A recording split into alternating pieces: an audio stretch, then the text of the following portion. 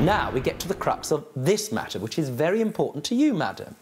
The dastardly event in November 2017. Madam, you have a job, and part of that job requires you to work on a, a laptop. Am I right? Yes, Judge. That laptop is very important to you.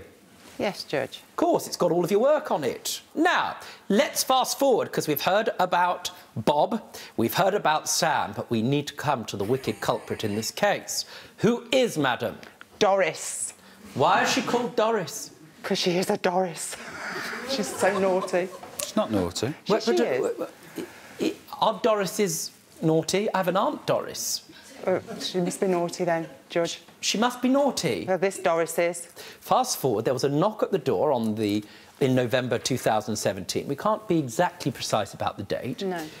But you went to the door. Um, I know who it is. It's my friend who needs me. Um, so I just put the laptop on the floor, not where that Doris is out of the cage.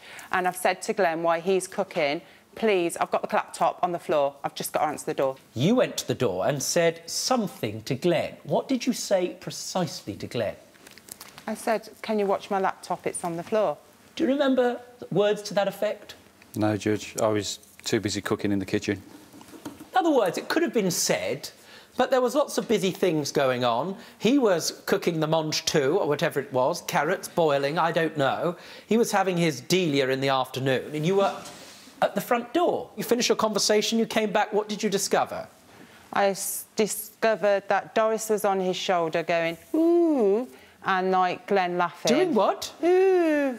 Now, And Glenn I never thought I'd come to the stage where, after 17 years dealing with cases of public and international importance, I would ask the following sentence. Michelle, please would you go and get Doris the parrot? Yes. Thank you very much. And Peter, would you mind going to get Bob? Yes. Are they safe? They're okay? Yeah, they're fine. Now, I have to tell you, if the two of you were not married and in the same property and say that you were flatmates, the issue here would be rather difficult to determine. The fact that you're married may, in these circumstances, make a bit of a difference. Here they are. Are they okay in the light? You're, you're Yes. satisfied that That- they're okay? fine. Thank you very much.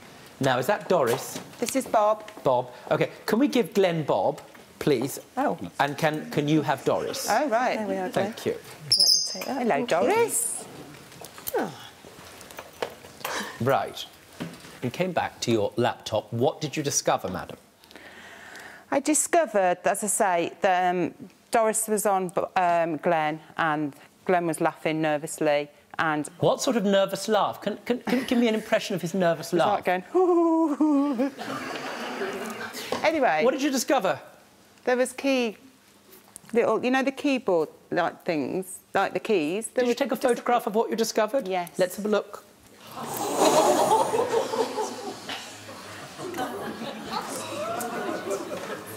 Doris, that's her. Doris! Look what you did to your mother's computer. Are you naughty, Doris? Are you naughty? Yeah. Yeah. That computer is destroyed. yes. What's the value of the computer? Um, 299.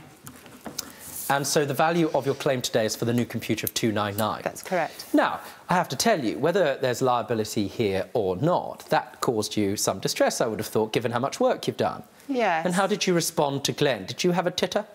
Well, put it this way, I think you ended up in the shed, didn't you, at the top of the garden? With the fish, How long for?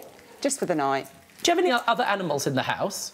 Yes. What other animals? So in total, I've got nine parrots. Nine parrots, Seven live in the house, Yes. two in the aviary, and Yes. four dogs. four dogs. See where I'm up against, Kane? I do, sir. It was either Now- that or I just dismissed him out of the house completely with his bags. Yeah, th- those were the choices, yes, Yeah. madam. Don't be stupid. Stay and watch the best Judge Rinder moments. And I'm talking. Understood? Don't be a moron. Subscribe to Judge Rinder YouTube channel. Right now. That's an order.